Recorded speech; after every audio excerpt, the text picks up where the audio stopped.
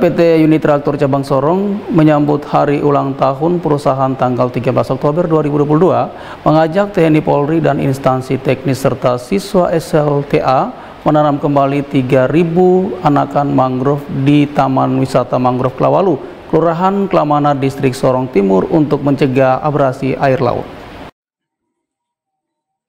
Branch Manager PT United Tractors Cabang Sorong, Hartanto Dwi Kurniawan, di acara launching penanaman 3.000 anakan mangrove di Taman Wisata Mangrove Kelurahan Kelamana, Distrik Sorong Timur, Jumat pagi menandaskan penanaman ini merupakan lanjutan dari penanaman 300 anakan mangrove sebelumnya yang berarti meningkat 10 kali lipat. Komitmen perusahaan menanam mangrove menyambut HUT perusahaan ke-50 karena dibutuhkan untuk mendukung kelestarian lingkungan.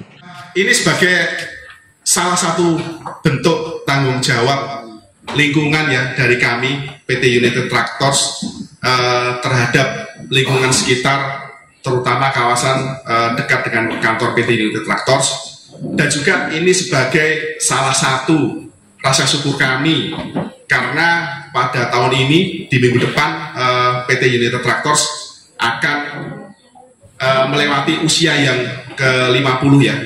Jadi dalam usia emas ini uh, kami berkomitmen untuk melakukan beberapa kegiatan dan kontribusi positif di area Papua Barat.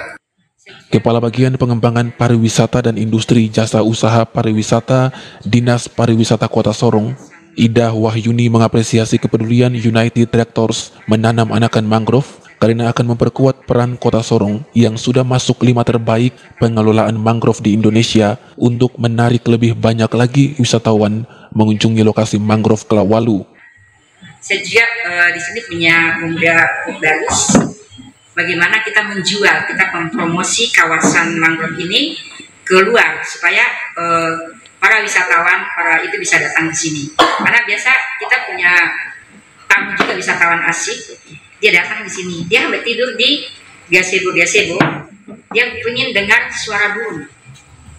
Jam-jam sulit dia, dia ingin dengar tapi saya bilang uh, ke anak-anak sini tolong dijaga kawasan ini supaya jangan dirusak supaya dia tetap asli jadi mungkin uh, ke depannya kami dari pemerintah meminta kepada Yuti sama Laut untuk kita tetap bekerja sama untuk ke depannya.